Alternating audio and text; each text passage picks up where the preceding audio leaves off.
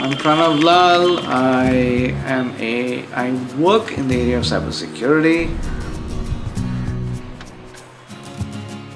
Blindness is an inconvenience. It's a huge challenge. Uh, how I do it is I simply keep pushing.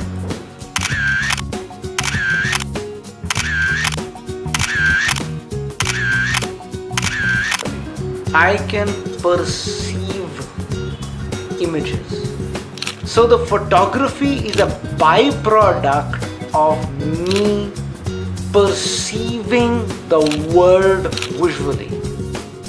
So these are the Vision 800 glasses.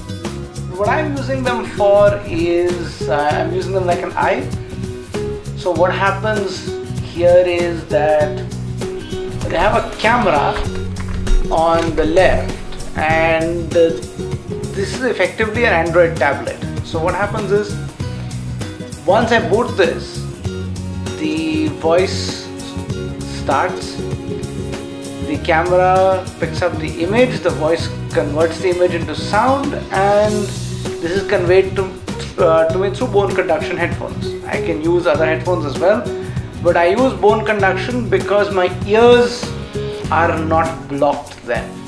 I still have the full use of my echolocating abilities.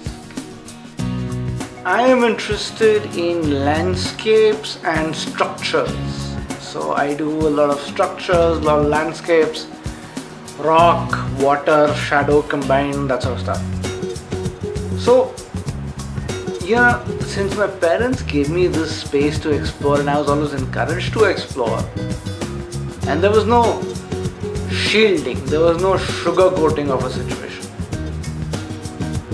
It was like it was.